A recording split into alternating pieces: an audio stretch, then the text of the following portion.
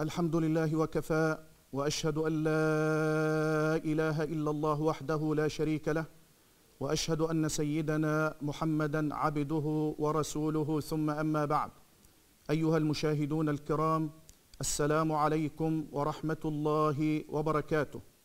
يسأل سائل عن حكم استخدام قطرة العين وقطرة الأذن في نهار رمضان وهو صائم. وللجواب على هذا السؤال أقول إن الرأي الراجح والرأي المعمول به بأن قطرة الأذن وقطرة العين لا تفطر الصائم ولا تفسد صيامه.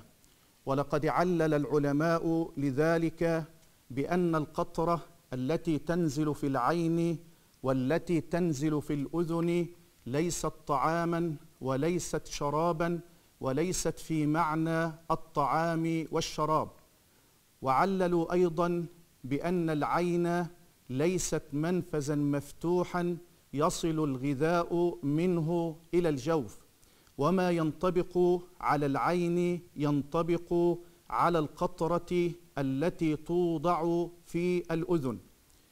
وعلى هذا نقول بأن الذي يريد أن يستخدم قطرة العين أو قطرة الأذن فلا شيء في ذلك فإن الرأي المعمول به وإن الفتوى الفتوى الصحيحة بأن القطرة التي توضع في العين والقطرة التي توضع في الأذن لا تفسد الصوم ولا تضيع ثواب الصوم بإذن الله تبارك وتعالى وذلك لأن العين وكذا الأذن ليس من المنافذ المفتوحة التي يصل تصل القطرة منها إلى الجوف.